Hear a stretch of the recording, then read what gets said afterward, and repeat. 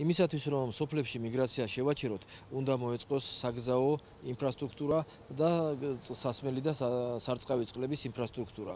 ამისათვის ბიუჯეტიდან 2 მილიონ 500 ათას ლარზე მეტი ხარჯება და მოეწყობა როგორც საგზაო ინფრასტრუქტურა, ასევე სასმელი და სარწყავი წყლების ინფრასტრუქტურა. თანხები მოხმარდება ასევე საბავშვო ბაღების რეაბილიტაციას და სოფლის სახლების რეაბილიტაციას.